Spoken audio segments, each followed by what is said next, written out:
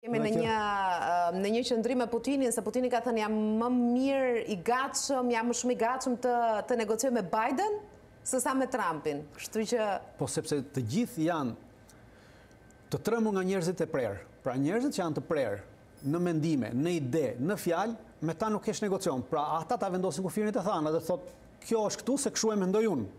Pra, ose duhet të bësh përpjekje më përpara me anë të lobimeve për t'i mbushur mendjen që kjo s'është kështu, por në momentin që i është mbushur mendja dhe e bën deklaratën, atëherë nuk ke ç'negocion me këta njerëz dhe gjithçka është e mbyllur dhe kjo mund të çojë drejt një konflikti. Thjesht për një fjalë, sepse i qëndrojnë fjalës së tyre.